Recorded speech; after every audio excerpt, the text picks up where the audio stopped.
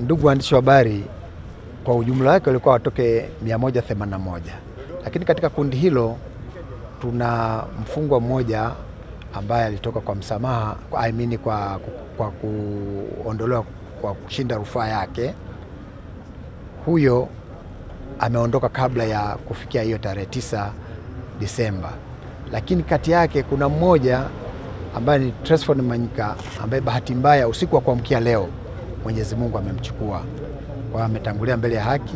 Kwa maana hiyo sasa wafungwa ambao wametoka rasmi wamekuwa ni mia moja sabini na tisa baada ya wale wawili kuwa mmoja ametoka kwa rufaa na mwingine ametoka kwa bahati mbaya kwa kuchukuliwa na Mwenyezi Mungu.